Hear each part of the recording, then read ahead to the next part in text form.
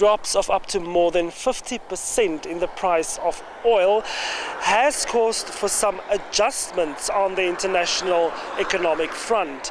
One of these changes include the price of fuel, which has seen several declines up to much more than what the ordinary person might have expected. Unfortunately, no one at the Ministry of Mines and Energy was available for comment. However, economist Petrus Nuyoma did speak to us telephonically. This uh, global oil market is very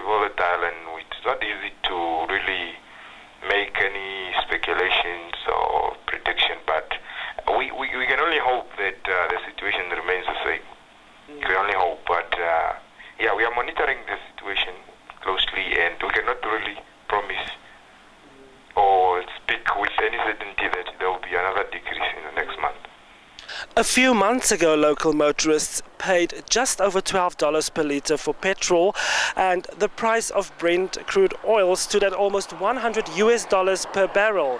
Today, oil sells at less than half its normal price, and petrol is almost $3 cheaper There is an oversupply in the market, and the OPEC countries that have been the traditional producers of, of, of oil don't want to cut production. And naturally, the very fundamentals of economics say that if there is an oversupply and the weaker demand, prices will inevitably fall down. So that's what is happening now. They don't want to cut production. There is an oversupply in the market. So this is what is causing all these sharp declines in the. Nobody anticipated that they will go this Walvis Bay pump prices will thus be $9.59 for petrol per litre and $9.82 and 92 cents per litre for diesel 550 ppm respectively. Francois Olivier reporting for the news on 1.